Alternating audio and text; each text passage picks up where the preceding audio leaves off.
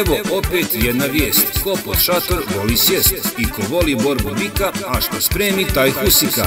Pa sve prava slika, mnogo dobrog bika, na narodnom veselju i koridi kod Seada Husike. Mramor Kakanj 15.5. godina ova. Mnogo dobrih borbi toga dana sastavio organizator, izdvajamo neke od njih. Jedna od udarnih borbi toga dana. Amel Pivulić sa svojim lickom ide na Didu Emraha Husike. Legendarni Mojo Hrvači sa svojim baketom ide na Tarzu Emina Blaževića. Toga dana kod Husike dolazi šampion lake kategorije, Garči Zireta Ahmića, a on borbu vodi protiv Zeće Muhameda Junuzovića. Mustafa Zahirović sa svojim FAPom vodi borbu protiv električara Zikreta Čizmića. Aziz Tursom sa svojim plamenom vodi borbu sa Rambom Elmedina i Nečko. Emina Ćatić Putalj protiv Bukadže Adi Sejdić.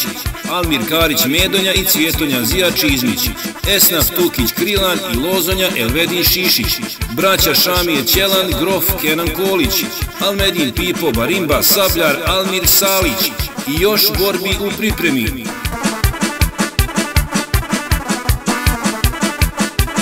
Za muzički dio programa toga dana da veselo bude zadužen je Razbe Band iz Zenice.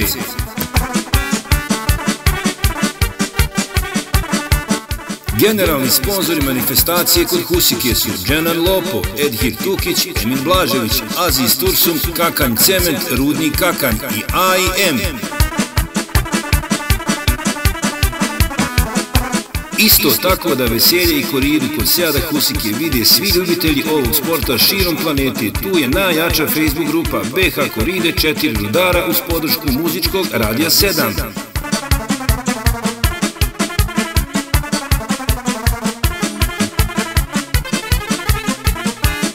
Voditelj programa je legendarni Milenko Srdić. Ulaz na manifestaciju je 10 konvertibilnih maraka, 15.5.2022. godina ova. Svi putevi toga dana vode na Megdan do Megdana, kod Seada Husike, Mramor Kakanj.